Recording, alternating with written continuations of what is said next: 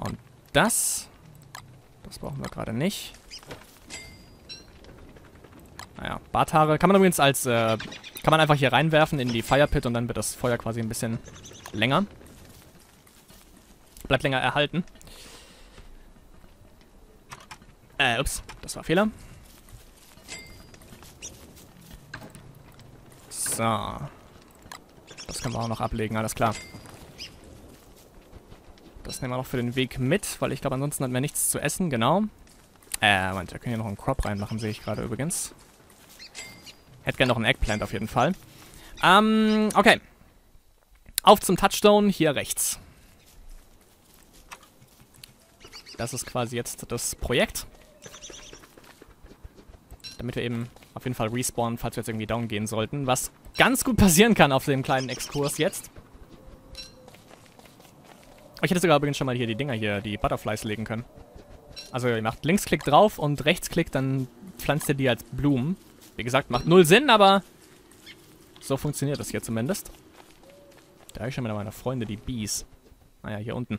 Hätten wir sogar hier unten... Ah, wir hätten uns das ganz leicht machen können und hätten hier unten einfach das hier legen können oder eins von den beiden. Ach, hier ist ein...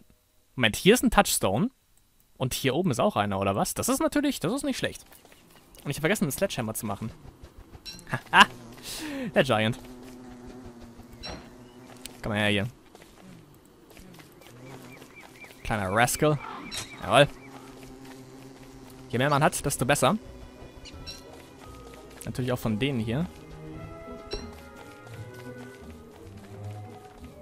Ah, ein Gnome, aber brauchen wir nicht. Ist halt wie gesagt nur für den Pig King, dass der uns noch ein bisschen Gold dafür gibt. Schauen wir mal, ob wir hier heile durch das Biom durchkommen übrigens. Die haben uns ja anscheinend ziemlich lieb. Die fucking Bees. Schauen, sieben Tage bis Sommer. Äh, bis Sommer. Schön wär's. Bis Winter.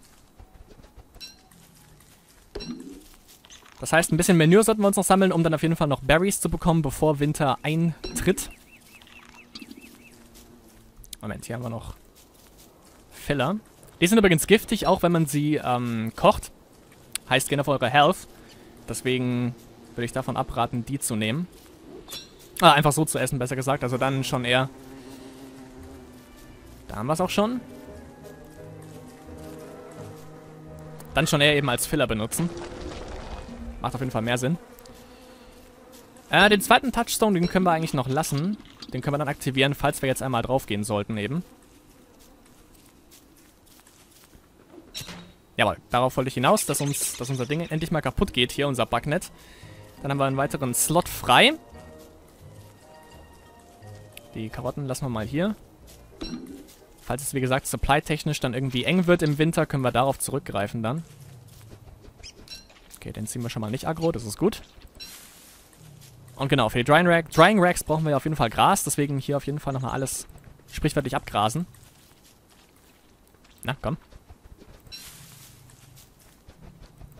So.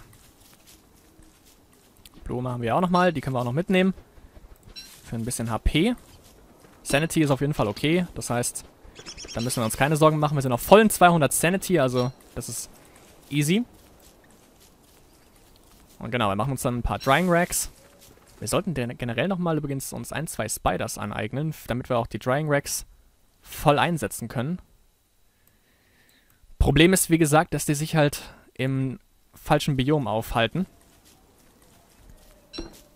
Also halt nur wirklich in den Swamps. Wobei, wir haben halt hier rechts unten eins. Ja, gehen wir mal dahin, da haben wir auch genügend, mehr als genügend, ähm, Gras. Das heißt, wir können Gras nehmen, wir können Manure von den Beefalo mitnehmen. Und ich wollte sowieso, ich habe jetzt hier drei Blue Gems. Kann man, wie gesagt, natürlich für Zauberstäbe dann auch benutzen, aber ich gebe es mal dem Pick King, weil wir brauchen noch ein bisschen Gold für den ein oder anderen Blitzableiter. Das wäre jetzt dann quasi das Projekt. Ansonsten haben wir, glaube ich, alles. Genau, wir müssen nur noch Drying Racks machen. Das kommt dann, wie gesagt, gleich. Das hat noch ein bisschen Zeit. Weil was der Plan ist dann quasi, dass ich mir drei, vier Drying Racks mache, dann eben das äh, Monster Meat von den Spidern nehme ich und das hänge ich da auf. Und dann passt das alles. Natürlich, die, ähm, das Manure von den Beefalo wird dann für die Berries benutzt, dass da aus den Berry-Büschen Büschen vor Winter auf jeden Fall nochmal was rauskommt. Dass wir dann auch Berries haben, die wir harvesten können für Filler.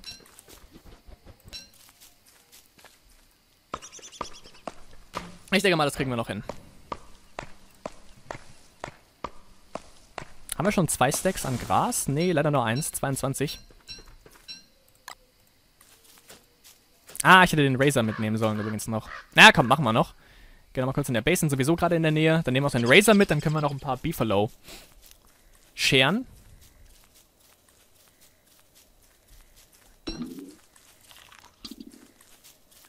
Ah, so, was haben wir hier eigentlich für einen Crop jetzt? Wir könnten auch Manure jetzt übrigens hier dazugeben. Ich glaube, drei Stück braucht man bei einer Improved Farm. Dann würde das quasi ein bisschen schneller sprießen. Wäre auch eine Möglichkeit. Ähm, genau, Logs brauche ich dann auch noch. Da kommen dann die B-Boxes. Also, alles wunderbar. Razor nehme ich gleich mit. Keine Sorge, das habe ich nicht vergessen. Äh, na, komm. Den Baum hier, den gönnen wir uns auf jeden Fall noch. Und schon wieder ein Vogel. ja, der geht teilweise relativ schnell, relativ zackig. Zumindest immer, wenn, der, wenn, wenn wir hier in der Nähe sind. Und von so einem kleinen Baum bekommen wir natürlich nicht viel, das ist klar. Na, er hat sich alle Mühe gegeben, immerhin. Und das ist das, das zählt. So, vielleicht bekommen wir ja hier wirklich nochmal eine Morsel. Sehr gutes Timing, Dankeschön. Ja, machen wir hier ein bisschen Gras rein, weil ich habe jetzt gerade die Loks nicht gefunden. Da haben wir sie. Wunderprächtig. Machen wir die Berries hier rein. Das hier und das. Dann die Morsel. Predict. Meatballs. Herrlich. Dann können wir die eigentlich schon essen. Und nehmen dann das hier für den Weg auf jeden Fall mit. Also den Touchstone haben wir aktiviert. Wir gehen jetzt einmal Richtung Spiders hier unten. Ganz hier unten. Nehmen uns da einiges an Gras mit für die Drying Racks. Dann holen wir noch natürlich Manure mit auf dem Weg von den Beefalo. Und dann äh, brauchen wir eigentlich nur noch eine Sache und das ist Logs. Und davon haben wir ja mehr als genügend. Äh, Moment, ich schau mal kurz nach. Ja. Logs brauchen wir eben zum einen natürlich für die B-Box und dann für, also Boards, besser gesagt. Und die bekommen wir ja von Logs, also von den Trees. Und dann natürlich auch für die Drying Racks. Ah, Hallöchen, Twix. Fast vergessen, dass sowas hier war. Ähm, Spear. In bester Bobby Lashley-Manier. Schauen wir mal, sechs Tage bis Winter, genau. Wir sind auf jeden Fall auf einem guten Weg, würde ich sagen. Wir schlagen uns ganz gut bisher. Hier haben wir noch Filler. Mehr als genug auf jeden Fall. Und wenn wir sowas sehen, solche Bäume, sollten wir dafür sorgen, dass die nicht mehr allzu lange genau das sind. Sondern schauen, dass die auf jeden Fall so schnell wie möglich hier den Weg verkleinert in, unseren, in, in unser Inventar finden, ohne Umwege. Blenden das Ding. Ja, sind auf dem richtigen Weg.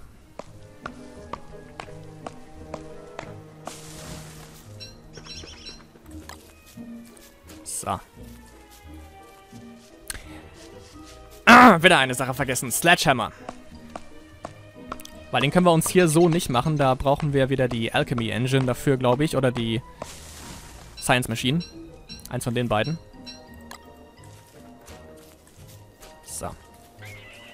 Das machen wir auch noch schnell.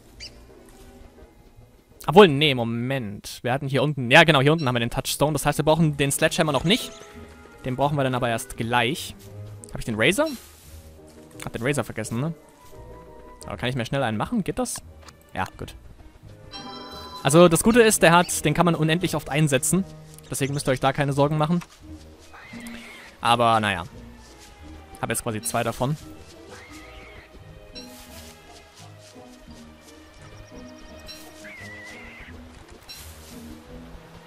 Irgendwas macht da gerade ganz komische Geräusche übrigens. Das gefällt mir nicht ganz so gut. Das klingt wie wenn im Winter, wenn der Screen langsam einfriert. Oh, die haben übrigens Hitze. Das heißt, jetzt sollten wir nicht zu nah an die rangehen, weil die greifen uns sofort an. Und da sehen wir auch schon, die haben jetzt eben neue ähm, neue kleine Beefalo bekommen. Aber gut, dass der sich im richtigen Moment so hingedreht hat, wie es für uns von Vorteil war. Ich bin einmal übrigens in meinem neuesten Walkthrough, bin ich einmal durch die Kollegen gestorben, weil ich hab's, ich wollte halt die Hounds wieder hier durchkiten und hab dann zu spät gesehen, dass die Hitze haben und dann wurde ich von den, von den Kollegen mal schön lieb gehabt. Aber wir haben hier übrigens wieder die Chance für einen Koala-Fan. Wieder mal. Vielleicht klappt's ja diesmal, mal schauen. Naja, er rennt zumindest weitergehen. So, hier, kann, hier kann man zumindest relativ leicht die Spuren sehen. Und wenn er hier in der Nähe der Küste ist, dann ist das für uns natürlich das Beste. Das Beste. Da haben wir den nächsten Dirt Pile. Den verdächtigen Dirt Pile vor allem. So viel Zeit muss sein. Ja, der scheint hier an der Küste zu sein. Das ist natürlich herrlich.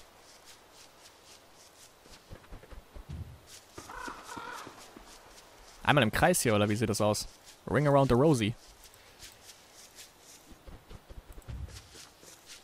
Gleich müsste noch die Nachricht von Wilson kommen, dass das Beast in der Nähe ist. Und dann müssen, genau, jetzt sollten wir ihn auch gleich sehen. Nicht, dass der jetzt hier in dem Beefalo steht. Da ist er. Problem ist, der rennt vor euch weg. Deswegen versuchen wir ihn mal hier schön an die Küste zu kiten. Genau.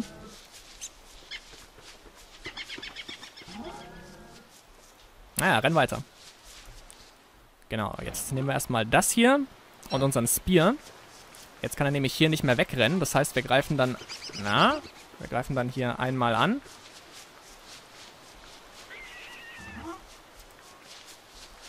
Man kann auch wahlweise einen Bumerang bauen. Dann äh, greift man hier auf Distanz an und er kann eben nicht wegrennen.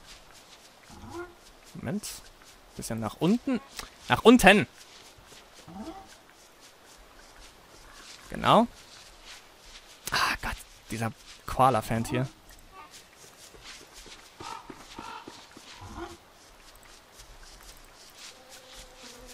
Den kriegen wir wahrscheinlich doch nicht, so wie es aussieht, ja?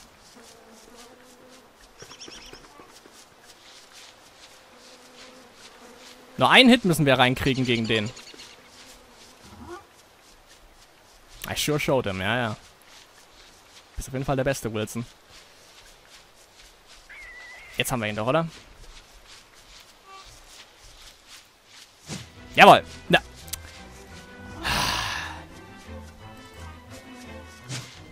Nervig, ey. Nervig, dieses Vieh. Mehr jetzt. So, jetzt aber. Genau. Okay, einmal angreifen, dann wegrennen. Oh Gott, wer, wer vermasst uns? Na komm, greif an. Genau. Eins, zwei, drei, vier. Wegrennen. Eins, zwei, drei, vier. Wegrennen.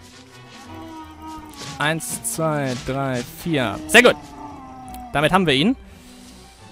Äh, so. Wo haben wir jetzt unseren Damuser Backpack? Okay. Das müssen wir natürlich jetzt wieder equippen. Übrigens, normalerweise wollte ich ja die Beefalo rasieren. Wenn die allerdings Hitze haben, dann bin ich mir da nicht so ganz sicher. Normalerweise wachen die ja nicht auf, aber äh, wenn man das halt, normalerweise macht man das so, man macht halt eine eine Fire Pit oder ein Campfire, besser gesagt, hier in die Nähe der Beefalo und ähm, dann nimmt man den Razor raus und rasiert die. Normalerweise wachen die nie auf, wenn man die rasiert, aber bei Hitze bin ich mir unsicher, deswegen warten wir mal noch. Warten wir am besten mal damit. Und natürlich, wir haben jetzt gesehen, wie viel so ein Koala-Fan letzten Endes droppt. Das ist einiges. Und deswegen macht es auf jeden Fall auch Sinn, den Kollegen so früh wie möglich sich anzueignen. Das Gute ist, der Koala-Fan-Trunk, wenn wir den äh, braten, gibt er uns 40 HP wieder. Deswegen war ich eben auch gerade so geil auf den Kollegen. Und er gibt uns hier ordentlich was an Meat. Also kein Monster-Meat, sondern reguläres Meat. Und das können wir natürlich auch wunderbar in ein Meaty Stew verwandeln. Das ist quasi nur Fleisch und gibt ihm die meisten HP und äh, das meiste an Essen zurück. Ich glaube wirklich 40 oder so, habe ich ja vorher noch erwähnt. Das ist schon sehr gut. Und apropos, nehmen wir uns mal ein paar Meatballs hier. Ja, haben genügend für eine Torch. Eine weitere haben wir noch im Inventory. Genau.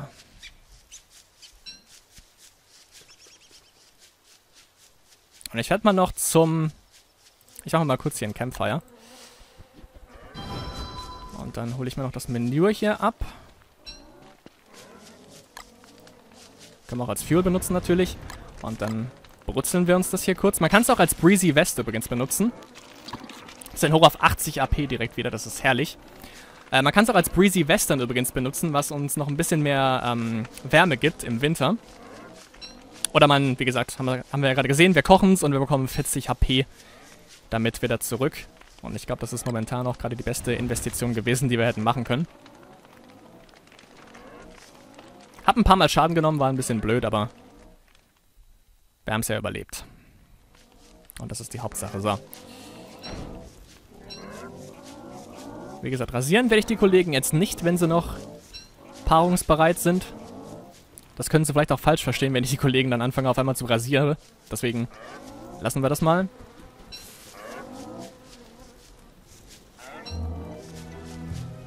Oh lala, jetzt haben wir nämlich ein Problem, genau. Wir haben ihn aus Versehen geagrot. Weil wir ein bisschen zu nah an ihm dran waren. Aber vielleicht können wir den ja in die Spinnen kiten. Das wäre natürlich herrlich. Ja, die lassen auch nicht so schnell locker, wie ihr hier sehen könnt. Also einmal aggro gezogen ist das schon echt nicht gut. Wobei der langsam aus seinem Biom raus ist. Willst du mal aufhören jetzt so langsam, oder, oder wie? Oder wie sieht's aus? Moment, wo sind die Spinnen? Ah, ein bisschen weiter rechts.